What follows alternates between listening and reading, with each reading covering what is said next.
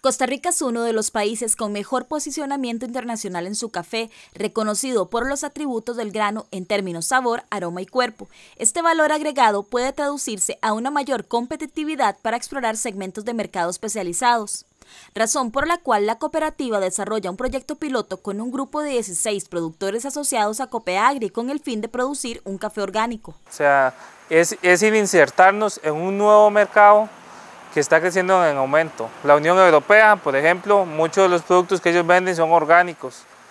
Entonces yo siento que esto nos va a dar un nicho de mercado y darnos a conocer a nivel mundial de que Copeagre produce con beneficios ambientales. Melquisedec Mengíbar es uno de los asociados que viene desarrollando esta propuesta, en donde se usa un mix entre producción orgánica y convencional. Eh, bueno, ahí, eh, me asocié a la cooperativa y decidí sembrar café orgánico porque hay muchos compañeros que están este, también sembrando ya café orgánico. Somos un grupo un poco grandecito, entonces este, dije este año voy a hacer yo un café almácigo para orgánico para los que están comenzando. Nos han dado cursos de orgánico, cómo hacer las fumigaciones, eh, bueno, para controlar todo lo que se llama enfermedades de café. Entonces he ido aprendiendo más y entonces este, estoy viendo los resultados. Nada más que no es nada sencillo, así francamente, no es nada sencillo, porque trabajara como trabajaban los antepasados, que todo era cuchillo, no había químico, todo era pala.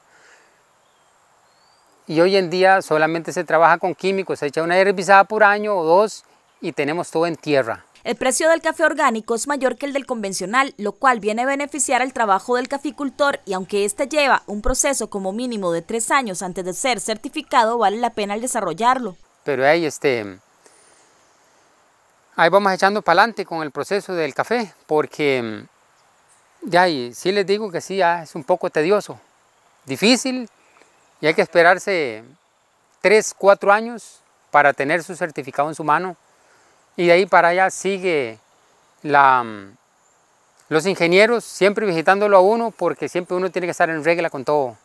A finales de agosto, la cooperativa contó con la visita de uno de los representantes del Ministerio de Agricultura y Ganadería para realizar las revisiones de fincas y garantizar que los productos cumplen con los estándares nacionales de producción orgánica.